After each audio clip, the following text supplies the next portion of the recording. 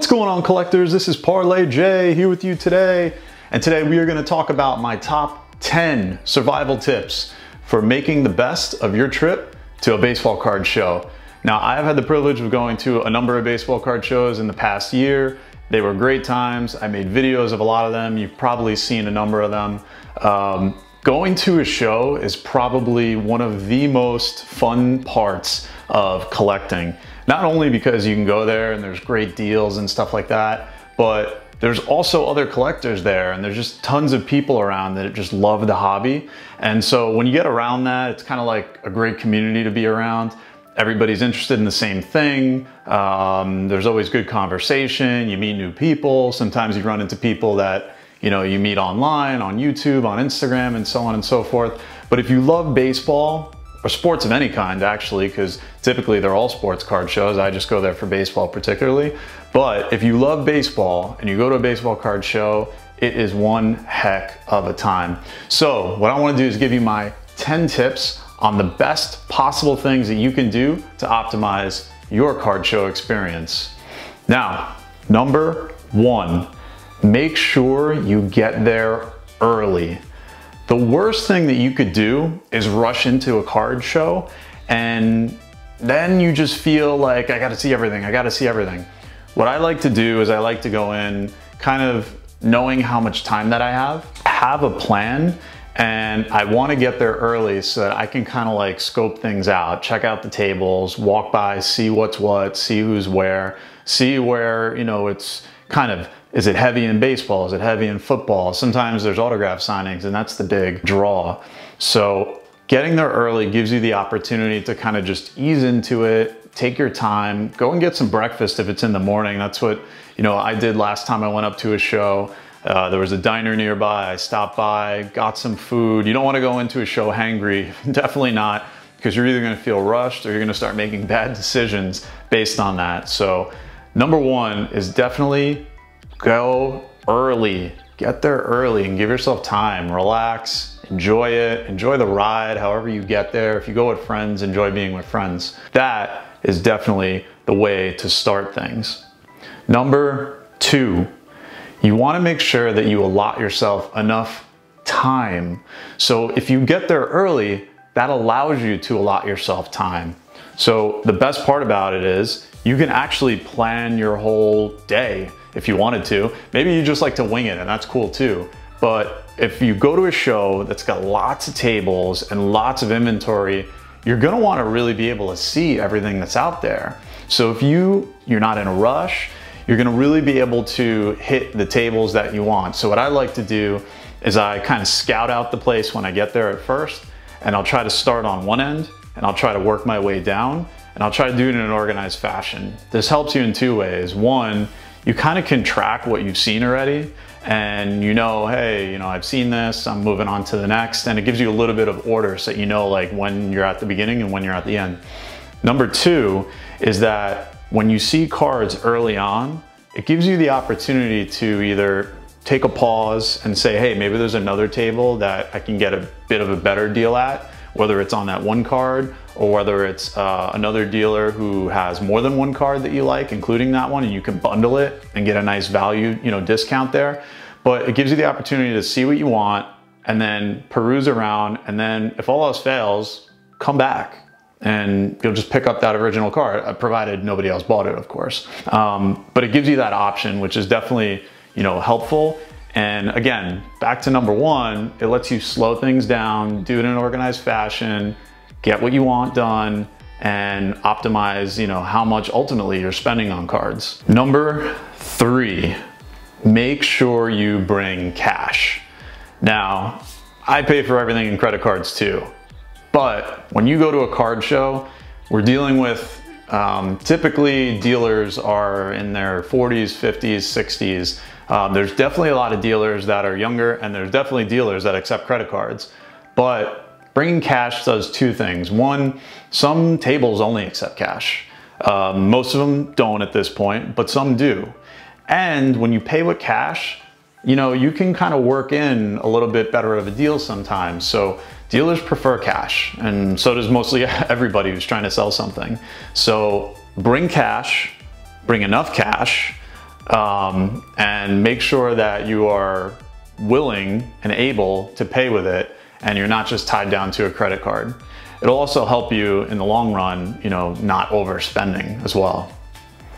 Number four, nice segue, set a budget.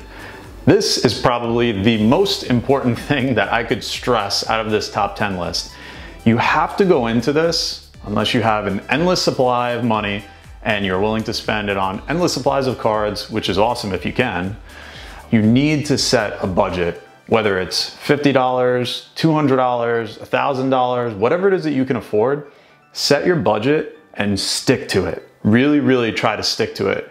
It forces you not to make irrational purchases because when you're in a sea of all of these cards, and there's so many that you want, that you would love to have, being on a budget kind of gives you a moment to check yourself and say, hey, I've only got, you know, $100 to spend or $200 to spend.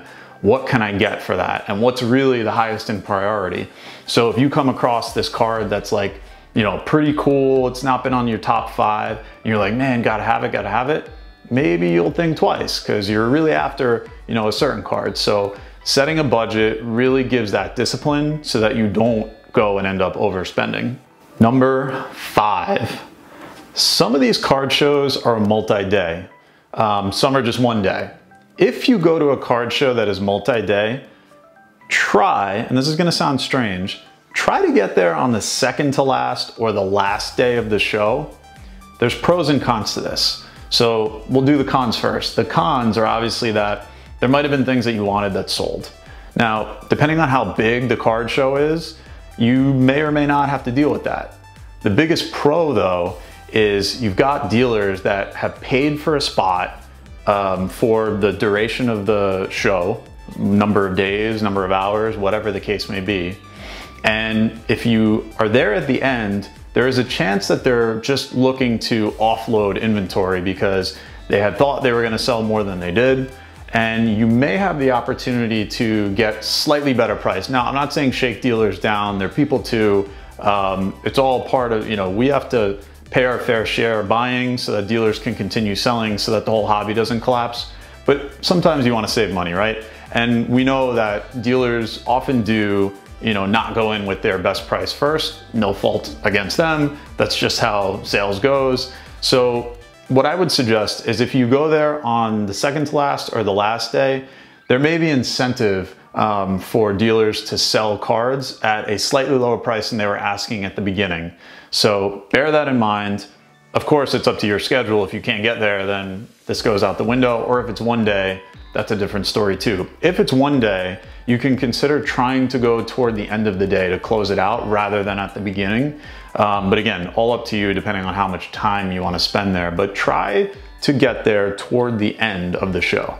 Number six, before you go to a show, check it out if PSA, JSA, or BGS are actually gonna be on site at this card show. It's definitely a really cool service when you can go straight up there and you can actually um, hand your cards off, sit face to face with a grader themselves. You can actually watch them. They don't grade the cards typically on site. Sometimes they do. Um, so you wanna check that out too. Usually they accept uh, submissions live on site. So you're definitely gonna wanna make sure that before you go to any card show, and you can actually Google this, um, if you go to PSA's website or if you Google um, card grading on-site card show, things like that, you will find websites that have lists of shows that will actually have PSA, JSA, and BGS at them. Uh, best place to go is to the PSA, JSA, BGS website. They usually list what shows they're gonna be at throughout um, the entire year. So definitely check that one out. Number seven, don't be afraid to make offers. I've said this in my video on eBay too. It's a little bit different because you're behind a keyboard on eBay and making an offer rather than face to face with a dealer. But don't be afraid. Dealers, just like dealers on eBay, usually the card is marked up. And that's to account for the folks that come in, they're not really sure what the value is, or they're not willing to negotiate or intimidated by negotiation, and they'll just pay whatever the, the sticker price is. Good for them, for those that they get, you know, the sales from. But what I would suggest is negotiate. And, you know, negotiate nicely. Don't come off like a jerk.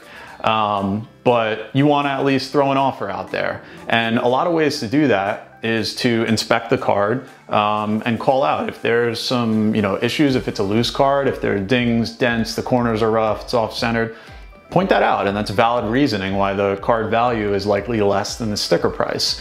Um, and oftentimes they're willing to take the price down a little bit. Another way is if you buy in bundles. So if you're at a table and you're buying from one dealer and there's one card you really, really like, and you happen to look around and see a couple of other cards that you either really like also or kind of like, if you bundle them together, you know, very good chance that a dealer is going to take money off of that entire lot for you.